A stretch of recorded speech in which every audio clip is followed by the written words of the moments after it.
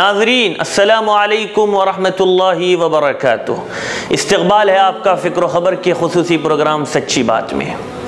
ناظرین، بارہ اگست دو ہزار انیس، مطابق دس ذی الحجہ، چودہ سو چالیس۔ پیر کا دن تھا۔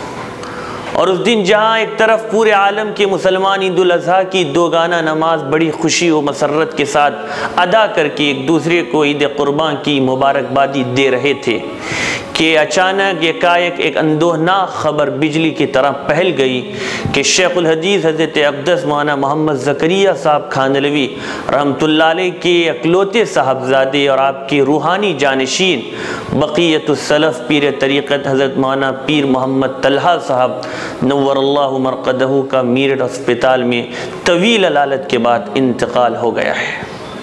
یقیناً یہ حادثہ ملت اسلامیہ بالخصوص مسلمانان ہند کے لیے ایک عظیم حادثہ تھا۔ اور اس سے ایسا خلا پیدا ہوا ہے جس کا فی الوقت پر ہونا مشکل معلوم ہوتا ہے۔ ناظرین، مولانا کی شخصیت محتاج تعارف نہیں ہے۔ آپ کی تعریف اور پہچان کے لیے یہی کافی ہے کہ آپ کی نسبت شیخ الحدیث حضرت مولانا زکریہ صاحب خاندلوی سے ہے، جنہیں ملت اسلامیہ شیخ الحدیث کے نام سے جانتی ہے، جو جامع الکمالات اور گناہ صفات کے حامل تھے اور نہ صرف ہندوستان بلکہ وہ عرب و عجم کے شیخ الحدیث تھے اور عرب و عجم کے علماء کے مرجع تھے اس کے علاوہ پوری دنیا میں سب سے زیادہ خاص و عام کے درمیان مقبول ہونے والی کتاب فضائل اعمال اور عربی کی مشہور شرح اوجز المسالک جیسی کتابوں کے مصنف تھے۔ پیر صاحب کی ولادت میں انیس سو اکتالیس میں ہوئی۔ ان کی مکتبی زندگی مظاہر میں گزری۔ وقت آگے بڑھا تو انہوں نے قرآن پاک کی حفظ کی سعادت بھی حاصل کی۔ پھر عربی و فارسی کی تعلیم کی طرف متوجہ ہوئے اور فارسی کی کتابیں مدرسہ مظاہر سہارنپور ہی میں پڑھی۔ مونا کی مکمل عربی کی تعلیم، اس کے بعد اور پھر اس کے بعد فراغت بھی مرکز نظام الدین دہلی کے مدرسہ کاشف العلوم میں ہوئی۔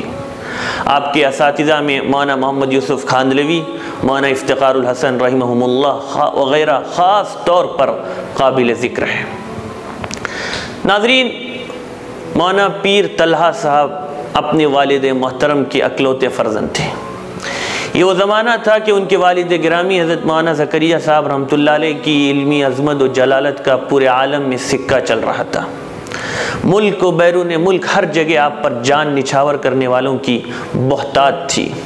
ایک چراغ تھا جو اپنے دل کی گرمی اور ایمانی حلاوت سے ایک عالم کو مستفید کر رہا تھا۔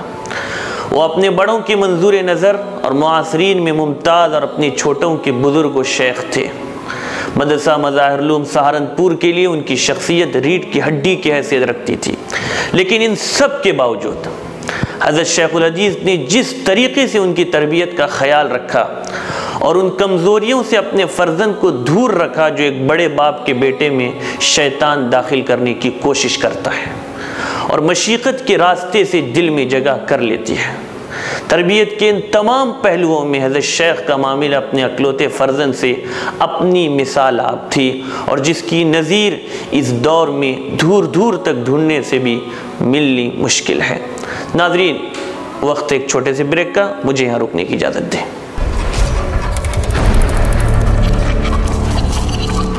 ناظرین، مولانا مرحوم بجائے مولانا محمد طلحہ کے پیر محمد طلحہ کے نام سے متعارف تھے۔ ان کے اس لقب کے پیچھے ایک تاریخی واقعہ پنہا ہے۔ واقعہ یہ ہے کہ شیخ الاسلام حضرت مولانا حسین احمد مدنی رحمۃ اللہ علیہ حضرت شیخ الحدیث کی سے ملاقات کے لیے مظاہر علوم سہارنپور وقتاً فوقتاً آتے رہتے تھے۔ ایک دفعہ حضرت مدنی رحمۃ اللہ علیہ تانگے سے اترے تو دیکھا کہ چھوٹے طلحہ اپنے ساتھیوں کے ساتھ پیری مریدی کھیل کھیل رہے ہیں۔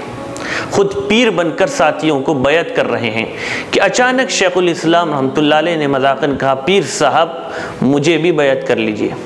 انہوں نے بھی ان کی درخواست مسترد نہ کی اور بیعت کر کے چھوڑا۔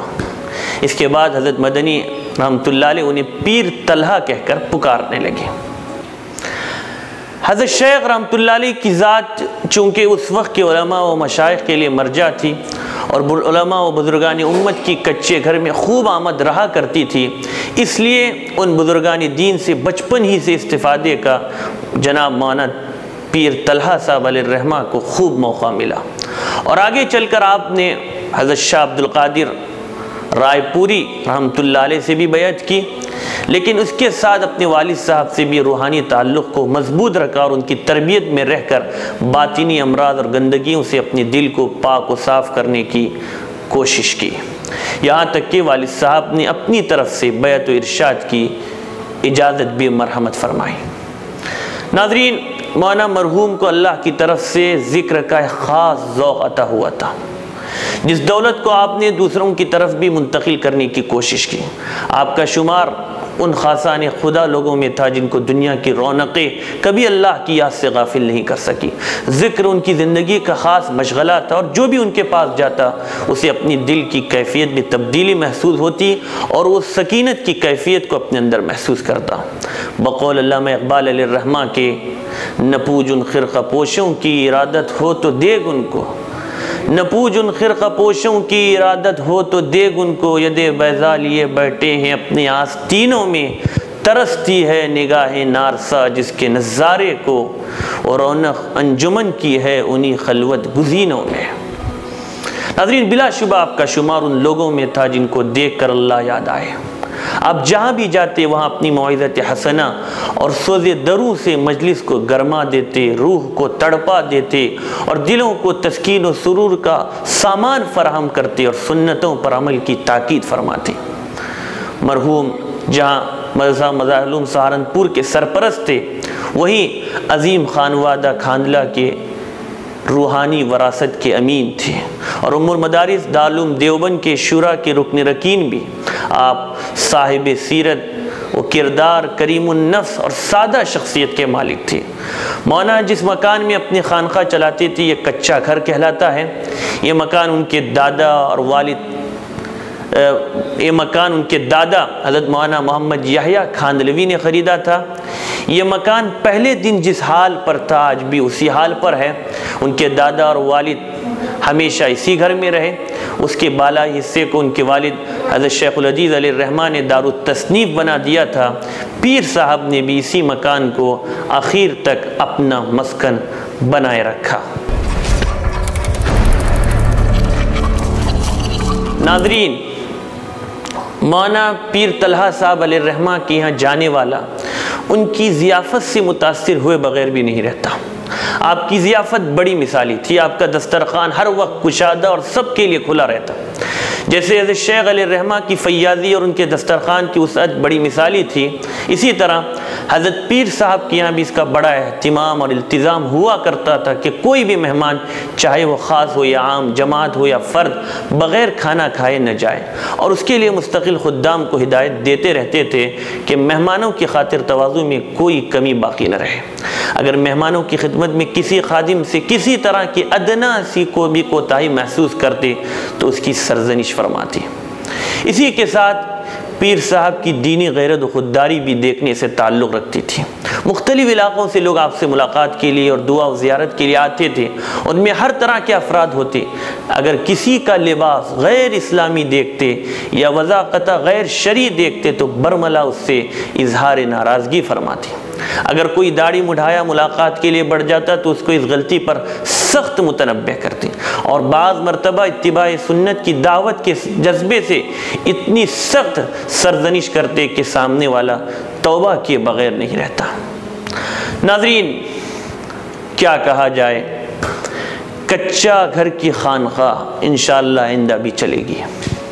لیکن وہاں جگر گوش ہے، شیخ الحدیث اب کسی کو نہیں ملے گا۔ افسوس، صد افسوس کہ علم و عمل کا یہ سنگم اور سینکڑوں مریدوں کا روحانی طبیب اس عارضی دنیا سے کچھ کر گیا۔ یہ سناٹا بھی اب اس امت کو چھیلنا پڑے گا اور اسی پر اپنے میزبان کو اجازت دیں۔ السلام علیکم ورحمۃ اللہ وبرکاتہ۔